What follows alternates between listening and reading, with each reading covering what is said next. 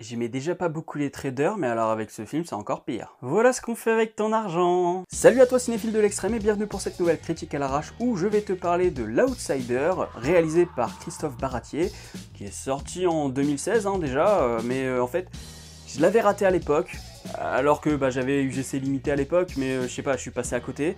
Je voulais aller le voir, et puis bah, il est passé sur France 2, ben dimanche, donc le, la veille du moment où j'enregistre cette vidéo. T'as l'impression que c'est compliqué, mais en fait c'est très simple ce que je viens de dire. Et je me suis dit que le film était tellement intéressant qu'il fallait clairement en parler. Parce qu'un film français qui propose un thème comme ça, qui en plus est tiré d'une histoire vraie, euh, qui est une histoire vraie assez récente, donc c'est plutôt intéressant de voir ça aussi.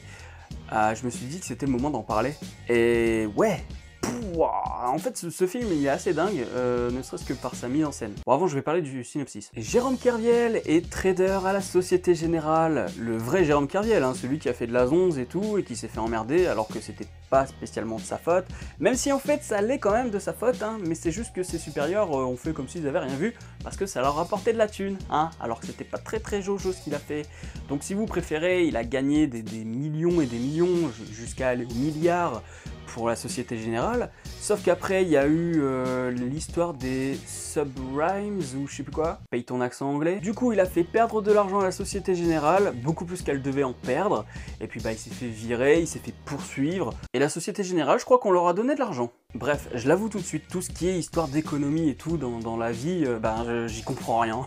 Enfin, c'est pas que j'y comprends rien, mais j'ai pas envie de m'y intéresser, donc du coup je suis là, il me manque la moitié des informations, euh, les médias veulent pas nécessairement te les donner parce que même eux ils s'en battent les couilles, tout ce qu'ils veulent te dire c'est résumer un truc pour te faire passer une idée, et souvent c'est leur idée à eux, et donc du coup bah toi t'es là devant et tu fais hein?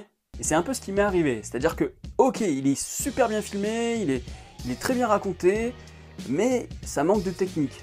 C'est-à-dire que, enfin, ça manque de technique. Pour moi, ça manque de technique. C'est-à-dire qu'à mon avis, ils ont euh, évacué ce côté technique pour pas perdre le spectateur, pour pas que ça devienne trop, euh, trop merdique, euh, trop, trop cérébral, qu'on prenne pas trop d'informations dans la gueule, parce que c'est assez complexe hein, comme, comme univers. Hein. C'est pas pour rien que les gars, ils ont fait HEC, Bac plus 5, Bac plus 8, machin, économie, etc.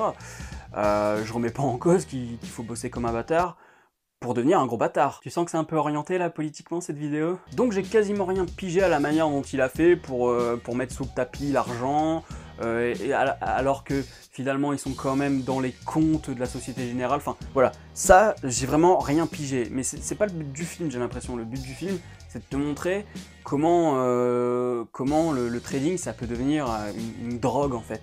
C'est-à-dire que c'est au début du film, c'est vraiment filmé genre en mode, euh, en, mode hyper énergique, en mode actionneur en fait, avec des plans de coupe, euh, des, plans qui durent euh, même pas deux secondes, qui sont hyper rapides, avec des mouvements de caméra qui partent dans tous les sens, avec une vue d'ensemble de, tout ce qui se passe, avec machin qui parle, et puis machin qui parle, et puis la caméra elle sait même plus où donner de la tête, mais elle essaye de suivre quand même tout ce qui se passe, et on voit bien que, que, que, le personnage principal, il est au milieu de ça, et euh, au tout début, il a du mal, et puis il finit par s'y faire, et donc la caméra aussi commence à s'y faire, et donc toi, par la même occasion, en tant que spectateur, t'arrives à mieux comprendre ce qui se passe, tu vois, c'est beaucoup plus lisible. La caméra, c'est vraiment les yeux de Kerviel, en fait. Et comme la caméra simule finalement les émotions de Kerviel, et eh ben, quand tu le regardes, ce film, t'as autant de fascination que de dégoût pour le milieu dans lequel il travaille. Parce que c'est tellement beau dans la manière dont c'est filmé, euh, la, défense, elle est super bien filmée, franchement, c'est magnifique. La manière dont il filme les bâtiments, et, dont il filme aussi finalement Kerviel, qui est... Euh, qui arrive vraiment, euh, c'est l'un des premiers qui arrive à la défense, et tous ces bâtiments qui sont limite oppressants sur lui, on sent que finalement, bah, c'est un petit rouage parmi tout ça, et que finalement, au fur et à mesure du film, il commence à être filmé différemment. On le voit souvent filmé uniquement du building, c'est-à-dire que là, à partir du moment où il fait des. où, il ramène de l'argent de ouf, qui fait des scores de malade, bah là ça devient le roi quoi. Et donc du coup il est plus du tout filmé de la même manière quand il, quand il est au taf. Donc je disais fascination et dégoût. Parce qu'au début Kirviel il arrive, il est là, il fait Waouh putain c'est génial, c'est euphorique et tout, machin. Et donc euh, la, caméra te, laisse suggérer, il y, a, des, beaux plans, il y, a des, mouvements de caméra qui sont vraiment... Euh, qui sont limite poétiques. Enfin, tu sens qu'il y a une, certaine légèreté voilà, dans, cette caméra. Et plus ça avance, plus lui commence à perdre pied. Et donc la caméra, elle est plus incisive, incisive elle a beaucoup moins de, déplacement, elle est moins libre, elle est, plus, euh, elle est plus oppressante pour toi et pour, le, pour le personnage principal. Et du coup, tu te dis, mais ouais, euh, Baratier, il a tout compris à la manière de, filmer son film. J'ai été omnubilé. Dès les premières minutes, tu sais que tu vas avoir du lourd. Et clairement, il développe sa mise en scène à, l'image du, personnage qui, au fur et à mesure, euh, tombe dans, dans, cette spirale de euh, j'en veux toujours plus.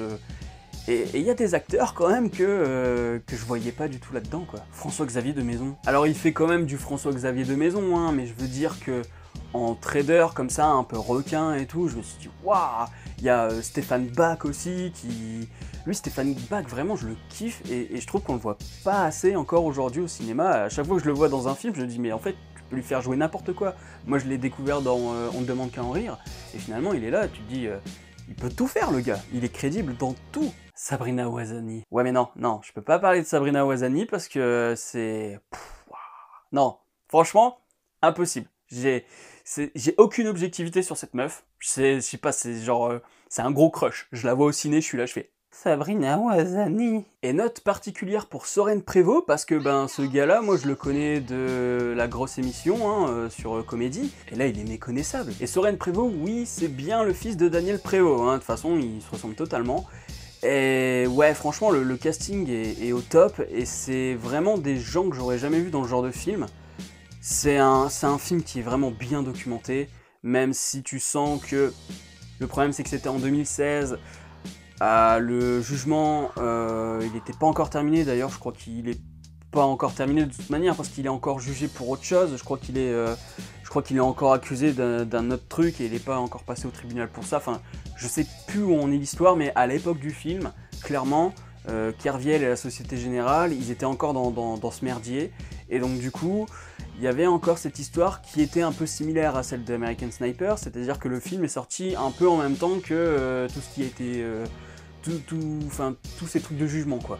Donc c'était un peu problématique parce qu'on se disait, ouais, mais en même temps, en plus, c'est Kerviel qui intervient sur le film, donc évidemment, il y a son point de vue donc la réalité peut être biaisée. Clairement, ça c'est, il y a de la subjectivité euh, totale dans ce film. Subjectivité, articule Morgan. Donc il y a de la subjectivité totale, hein, c'est-à-dire qu'on voit, euh, on, voit cette histoire à travers les yeux de Kerviel, clairement.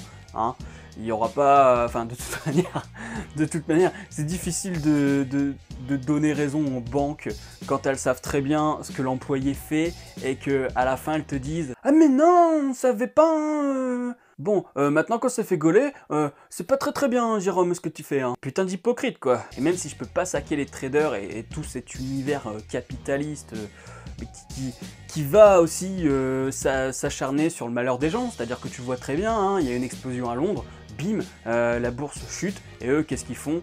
Eh ben, ils récupèrent de l'argent parce que Kerviel, était, il était dans le sens opposé de tout le monde. C'est-à-dire que lui, il a misé sur un truc qui était perdant, et à partir du moment où il y a eu cet accident à Londres, eh ben c'est devenu gagnant de placer comme ça. Donc c'était le seul à cartonner de ouf.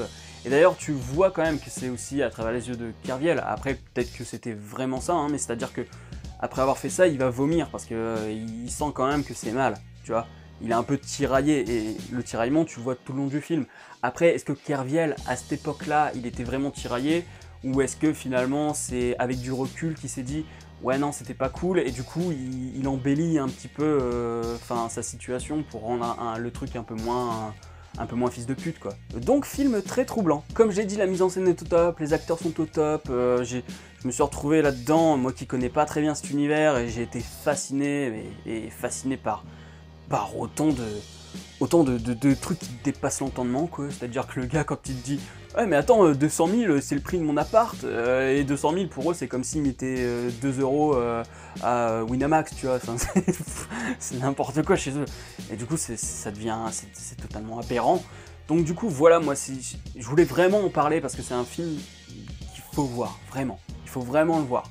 C'est un film qui n'est pas juste là pour raconter une histoire vraie, c'est aussi là parce qu'il y a une proposition cinématographique. Tu sens que le gars, il a vraiment pensé ses plans, il a pensé le montage. Vraiment, c'est très bien organisé et tu comprends, limite tu pourrais même pas avoir besoin des dialogues, que tu comprendrais euh, l'état d'esprit de chaque personnage, parce que c'est euh, filmé de manière à ce que, euh, que t'aies pas besoin de dialogue en fait. Voilà. Ah, bien sûr que tu as besoin des dialogues pour comprendre que des trucs spécifiques, genre pourquoi il a perdu ou pourquoi il a gagné. Mais si t'as pas les dialogues, tu comprends qu'il a gagné et tu comprends qu'il a perdu. Parce que la mise en scène te le fait sous-entendre. Grave, tu vois. Genre le fait qu'il soit perdu, qu'il soit un peu à l'ouest et qu'il comprenne pas ce qui se passe au début du film, sans les dialogues de ses potes, tu le comprends. Donc, si j'ai une note à lui donner sur Captain Watch, ce sera très bon. Très bon parce que comme je l'ai dit, moi il manque un peu de, technique économique. J'aime bien, je, suis assez curieux et donc du coup quand on me balance un truc, eh ben, je veux un maximum d'informations. Et ça me frustre toujours de me dire que j'ai besoin limite de faire pause, ce que j'ai pas fait hein, parce que je l'ai regardé sur France 2 donc euh, pas de pause. Hein. Mais euh, et puis j'aime pas mettre pause tout simplement, mais de me dire soit faut que je fasse pause, il faut que j'aille chercher des infos, soit après le film il faut que j'aille chercher des infos, mais du coup ben je vais pas le recevoir de la même manière, enfin je vais pas recevoir le, film de la même manière que si j'avais regardé toutes ces informations là avant. Et je trouve ça dommage parce que je pense que si je m'y connaissais plus, eh ben tout ce côté technique, je l'aurais euh, acquis et donc du coup j'aurais dit Ouais, putain, c'est encore meilleur que ce que je pensais, quoi. Bref, c'est vraiment cool. Donc si la vidéo t'a plu, n'hésite pas à mettre un petit pouce bleu, à la partager sur les réseaux sociaux, à me dire en commentaire si tu l'avais vu, ou si maintenant t'as envie de le voir, ou si, comme moi, justement, tu l'as vu sur France 2. Je rappelle que sur Facebook, tous les dimanches, sur la page Facebook Morgan son ciné, sur la page Facebook Captain Watch et le Twitter de Captain Watch, je propose 4 films euh, qui, sont disponibles à la télé euh, le dimanche soir. Donc voilà, sois attentif, c'est tous les dimanches à 17h. Et puis ben, abonne-toi à la chaîne si ce n'est pas encore fait, actionne la petite cloche pour être alerté des prochaines vidéos. Quant à moi, je te dis à la prochaine sur la toile. Salut